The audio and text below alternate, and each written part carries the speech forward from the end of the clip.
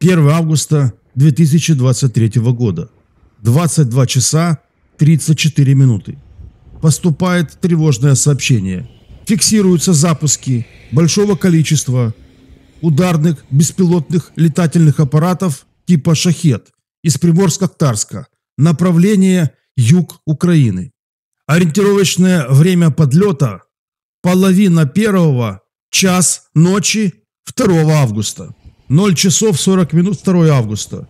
Фиксируется большая группа вражеских беспилотников на подлете к Одесской Николаевской области. Расстояние 120-130 километров с моря.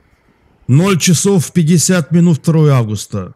Большая группа вражеских беспилотников движется в сторону Измаильского района Одесской области. Расстояние 90 километров. Час ночи 2 августа в Одессе звучит сигнал воздушной тревоги. Сообщения поступают лавиной.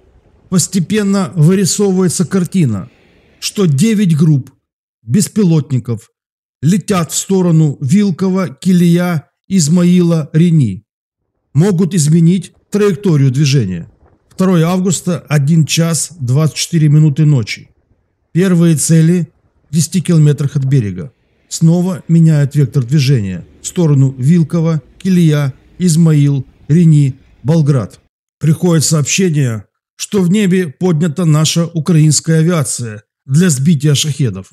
Потом поступает сообщение. На юге области слышна канонада работы ПВО.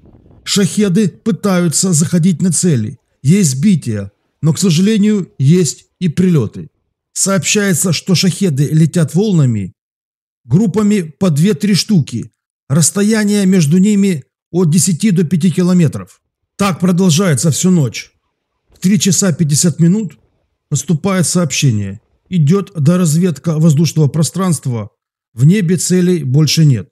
И примерно в 3 часа 55 минут приходит сообщение «Отбой воздушной тревоги». Так подходит к концу еще одна военная ночь 2 августа 2023 года.